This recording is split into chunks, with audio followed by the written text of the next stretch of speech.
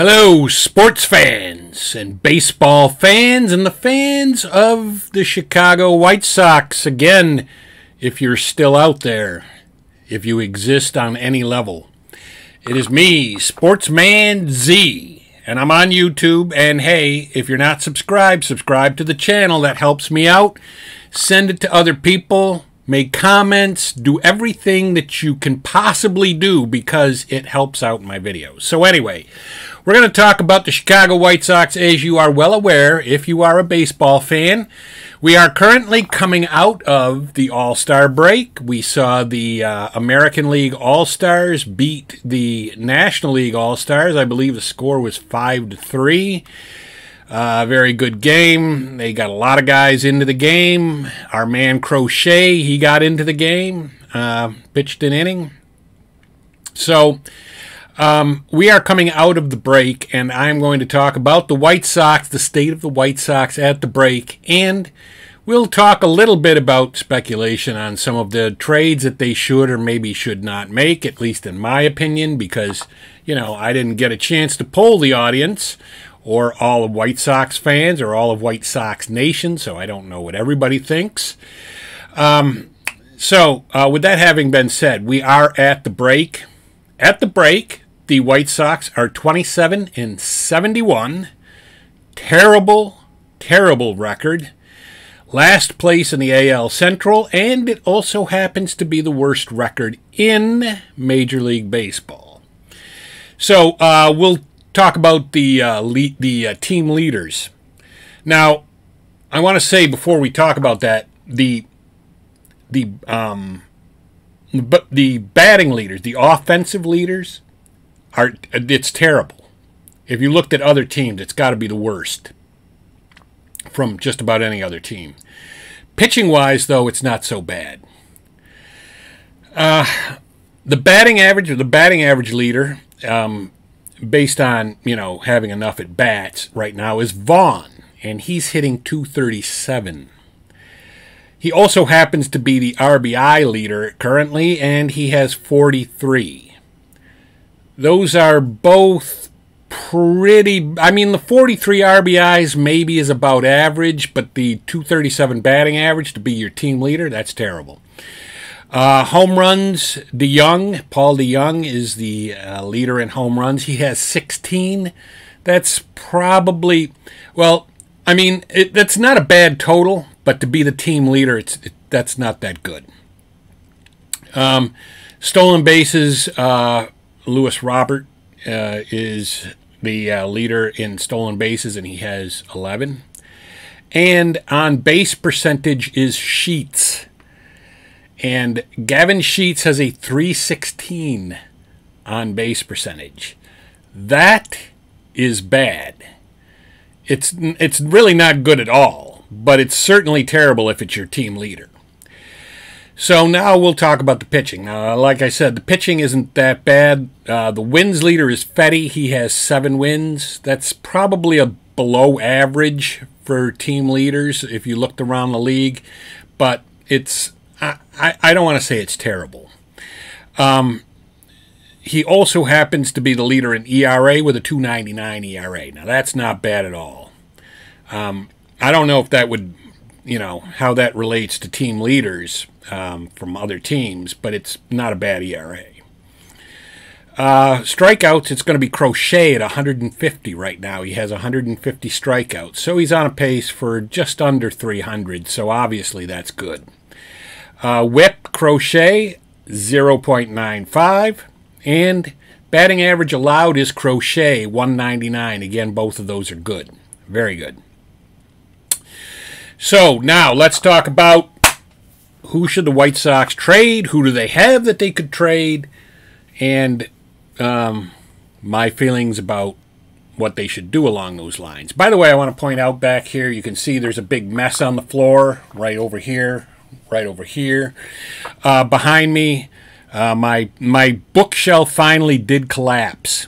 I want to just point that out. And many people have told me that it was a disaster waiting to happen, and the disaster happened today. So I got to get that cleaned up at some point, and I will do that, um, and then maybe get a new bookshelf, which I'm probably going to have to do. Uh, the other one is still stand. I, how do you? The other one, as you can see over against the wall, that one is still standing, but um, you know it doesn't seem like that's long for this world either. So I'll probably get two new bookshelves. So let's talk about the White Sox. Um, there are two guys that have been speculate. Well, three. Well, actually, more than that. There's been uh, four main players that have been speculated that the White Sox could or would trade, and I'm going to dive into each of those. The first two I put in the don't trade category, and that's Crochet and Fedde. Fedde is under contract through next season, and Crochet is under contract for the next two seasons. What I think the White Sox should do is try to sign these guys.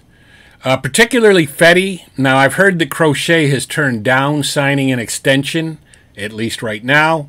So, you know, who knows? Um, but uh, one selling point that the White Sox could give to him is that a lot of people a lot of teams might see him as a relief pitcher. And uh, the White Sox could say, listen, if you sign with us, they'd have to give him good money, but they could say, if you sign with us, we'll guarantee that you're going to be a starter. Fedde, um, you know, Fedde was he was good in um, overseas, and I think he was in the Korean League. Um, but before he went to the Korean League, he was bad here in the states in the in the uh, in Major League Baseball. So um, he might be easier to sign to an extension. Both of those guys are very good. If you put those guys in there with Thorpe and then uh, you know a couple of the other guys that we've got, a couple of the up and coming other guy, up and coming guys that we have like Cannon, um, you could probably put a pretty good staff together. As a matter of fact, the White Sox record would be great. It would be a great winning record if games ended after the seventh inning. So the bullpen is terrible, and we'll get to that too. So I think Crochet and Fedde, they should keep them. They should keep them and try to sign them to extensions and keep them, you know, a few years longer. Um, and then the next category we're going to talk about is maybe trade him, but you got to get a lot if you trade him. Two guys fall into that category, and that is Luis Robert and Michael Kopech. I'm okay with trading Kopech because, I mean, he seems to walk the world whenever he comes in. He's really not that good. He can throw, he's got good stuff. Kopech has great stuff but it doesn't seem to translate into success out on the diamond. But somebody's going to want him. Some team is going to say we could use this guy in our bullpen. But if you're Chris Getz, you've got to get a lot for him. So I'm I'm all for trading Kopech, but you have got to get a lot in return. I'm also all for trading Luis Robert, but again, you have to get a lot in return because you know these are assets that uh, other teams are really going to want, and you have to capitalize on that. But I could see them trading them. And then the anyone else, uh, you know, trade anyone else really is is basically um, the category is trade anyone else for whatever you can get. And I think everybody fits into that category. Every single other player that you can name is you know, whatever. Just trade them for whatever you can get. That includes Vaughn. It includes Sheets. It includes Benintendi. Uh, even Moncada. I mean, Moncada is he's just an injury wait. He's a walking injury.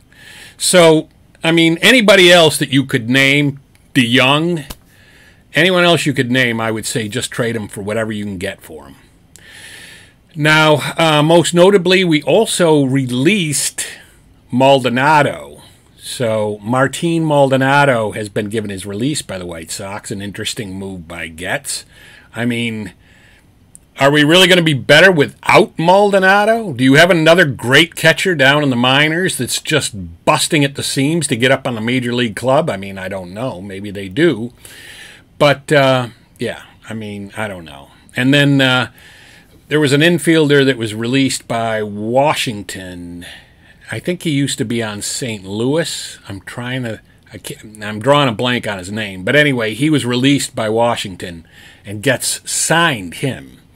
So I don't really know what Getz is doing. I mean, he's just exchanging crap for crap. He's cutting some crap. He's bringing in some crap.